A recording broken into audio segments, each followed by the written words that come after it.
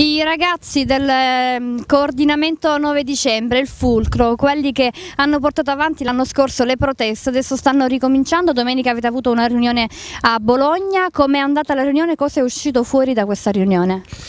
Eh, la riunione di Bologna eh, eh possiamo dire che eh, è uscita abbastanza bene perché finalmente abbiamo ottenuto oh, di nuovo dopo un anno una unità di intenti, eh, giustamente la riunione c'erano tanti movimenti, all'inizio c'è stato un po' come al solito eh, alcune discussioni, ognuno aveva delle posizioni, alla fine eh, è stata una cosa bellissima che si è decisa la data e si è, decisa in maniera uh,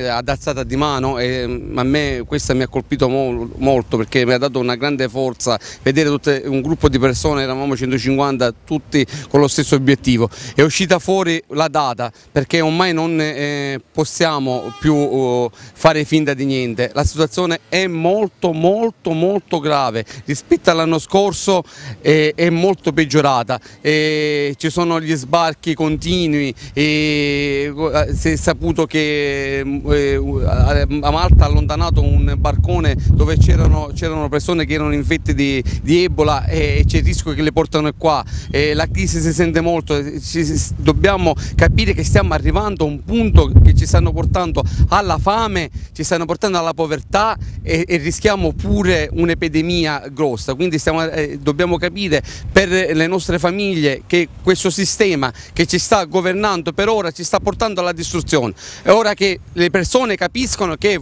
è ora di muoverci, di, di sbagliarci e di fare delle azioni. Noi abbiamo deciso in tutta Italia, da Pordenone in Sicilia, di, 13 di fermarci e cominciamo a fare degli attivismo. Ora noi cominciamo a fare anche nella città di Mazzara del Valle a tutti i negozianti, a tutte le attività e cominciamo a, essere partecipe. Io organizzerò degli incontri per confrontarci, per decidere come muoverci il 13. E una cosa importante domenica a eh, Castelvetrano all'uscita dell'autostrada eh, al bar eh, Sosta A29 ci sarà una riunione provinciale dove verranno eh, saranno... A che ora? alle, alle 5 la riunione e verranno oh, gruppi di, di, persone, di cittadini liberi, di lavoratori, di disoccupati per parlare come muoverci in sincronia e ci saranno pure uh, città vicine come Sciacca, Menfi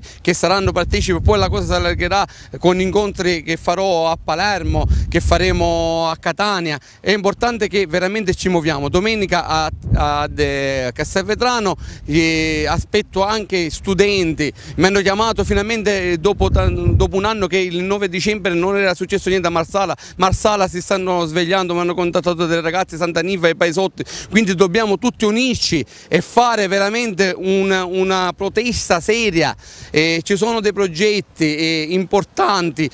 le, le, le, non è soltanto fermarci e fare la protesta e andare a casa, ci sono le, assemblee costituenti, ci sono dei progetti, eh, ci sono le leggi, la Costituzione italiana è stata calpestata da chi ci sta governando, ognuno, oh, eh, ci sono le leggi importanti e non vengono più rispettate, quindi eh, cominciamo veramente a muoverci. Perfetto, quindi domenica ci si riunisce tutta la provincia a Castelvetrano alle ore 5, intanto è stata decisa la data per lo sciopero generale in tutta Italia, il 13 ottobre ricomincerà quindi la stagione degli scioperi in tutta Italia.